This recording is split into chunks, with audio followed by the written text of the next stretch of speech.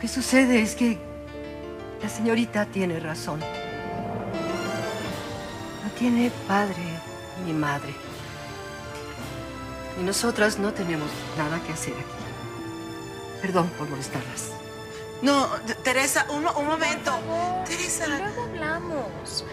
Pues si queréis hablar, No, no, no, no, no, no te preocupes. Luego vamos a hablar.